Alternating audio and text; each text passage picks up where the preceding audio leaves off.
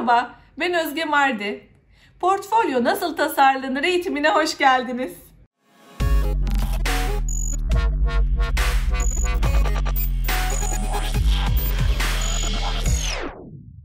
Her tasarımcı ve tasarımcı adayının kendini ve tasarımlarını anlatması için bir portfolyoya ihtiyacı vardır.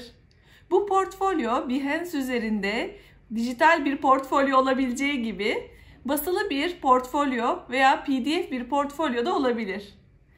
Burada önemli olan içerikte neler olmalı, nasıl bir portfolyo olmalı, neler hazırlamalıyız sorularına yanıtlar bulmak. Yapılan eskizler ve tasarımlar portfolyo içerisinde nasıl bir sıralamayla yer almalı merak ediyorsanız şimdi bir portfolyoyu birlikte inceleyelim.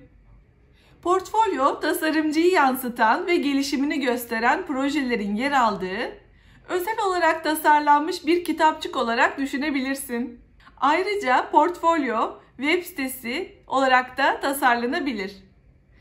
Örneğin liseden yeni mezun bir grafik tasarımcıyla üniversiteden mezun bir grafik tasarımcının portfolyosu bir olmaz. Üniversite başvurusunda kullanılan portfolyoyla iş başvurusunda kullanılan portfolyo yine aynı içerikte değildir.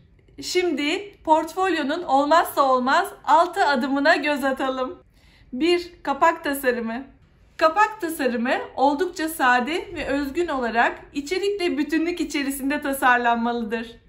Burada içerik konseptiyle beraber belirlediğiniz renkleri kapakta kullanabilirsiniz. Ve aynı zamanda içerikte belirlenen fontlar yine kapakta kullanılarak bir bütünlük oluşturulabilir. Ayrıca ön kapak ve arka kapak bir bütünlük içinde olmalı. Kapak üzerinde ad, soyad ve portfolyo yazıları, bununla birlikte portfolyonun içeriğindeki işlerin yer aldığı yıllar, başlangıç ve bitiş olarak belirtilebilir. Ayrıca kapak tasarımının sade olmasına dikkat edin. 2. Portfolyo içindekiler kısmı.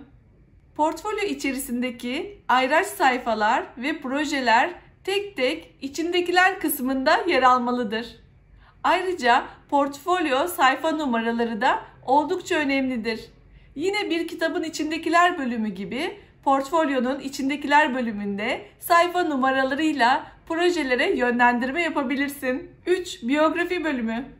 Biyografi bölümü tasarımcı hakkında eğitim, iş ve kabiliyetleri hakkında detayların yer aldığı bir bölümdür. Bu bölüm yaratıcı CV şeklinde tasarlanabilir veya infografikler şeklinde tek tek görselleştirilebilir. 4. Ayraç sayfalar. Portfolyo içerisinde ayraç sayfalar neden olmalı diye soruyorsanız eskizler, tasarımlar, illüstrasyonlar, iki boyutlu ve üç boyutlu çalışmalar ve hatta fotoğraflar gibi bölümlerin ayrı ayrı konumlandırılması oldukça önemlidir. Bu nedenle bu bölümleri portfolyo içerisinde ayraç sayfalarla ayırın. 5. Proje görselleri. Her projenin görseli özel olarak taranmalı veya fotoğraflanmalıdır.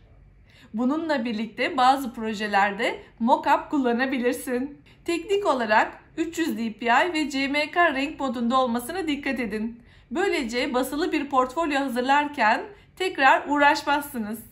Portfolyo içerisinde yer alan projeleri görselleştirirken farklı açılardan görsellerini ekleyebilirsin. Ancak çok fazla görsel olmamasına da dikkat etmek gerekir.